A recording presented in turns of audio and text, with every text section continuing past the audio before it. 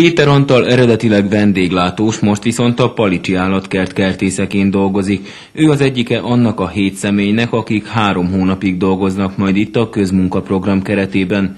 25 fogyatékkal élő pedig 6 hónapig lát el különféle teendőket az állatkert állandó alkalmazottai mellett, akiknek óriási segítséget jelent a munkájuk, az állatok etetése és a kifutók takarítása a feladatuk. Nekem ez nagyon sokat jelent, mert szeretek az állatok körül dolgozni, szeretnék később is itt dolgozni. A feladataim közé az állatok rendbetartása, etetése és az ehhez hasonló munkák tartoznak. Szeretek és tudok is az állatokkal bánni, mivel falusi vagyok, a különböző gépek kezelése sem okoz gondot, mindennel elboldogulok.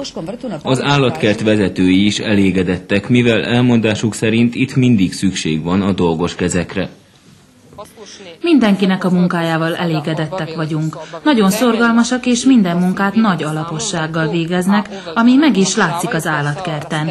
Nagyon megkönnyítik a dolgunkat és tehermentesítik alkalmazottainkat. A 20 állandó foglalkoztatott számára komoly segítséget jelent a 32 közmunkás, hiszen naponta majd 60 állatfajt, mintegy 600 egyedet kell gondozniuk. A parkban évente kétszer 80 ezer virágot ültetnek el azért, hogy az évi 150 ezer látogatót kifogástalan látvány fogadja.